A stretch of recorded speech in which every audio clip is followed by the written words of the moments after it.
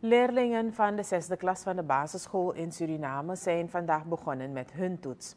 Er is een aanvang gemaakt met de vakken tekstbegrip, hoofdrekenen en adreskunde.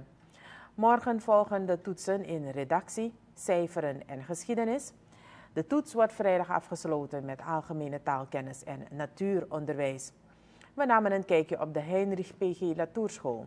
Sandra Roosburg leerkracht van de zesde klas zegt dat de leerlingen van haar school goed zijn voorbereid op de toets. Ze verwacht positieve resultaten.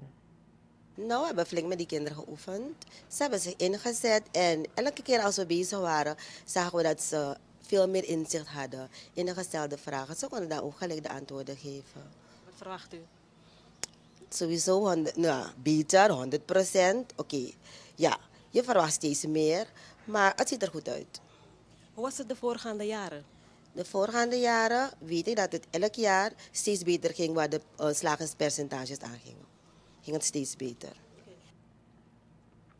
Hoewel Roosburg positief is over de prestaties van haar leerlingen, merkt ze op dat lezen een struikelblok vormt. Ze ziet graag dat ouders het leesgedrag van hun kinderen stimuleren.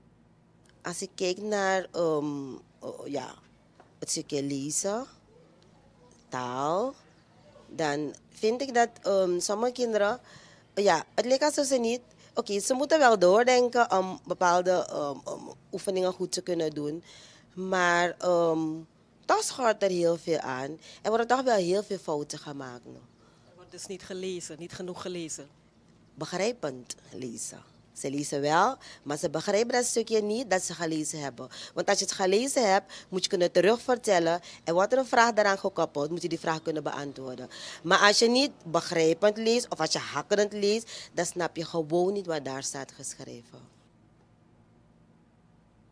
Sandra Roosburg, leerkracht van de zesde klas van de Heinrich P.G. Latourschool.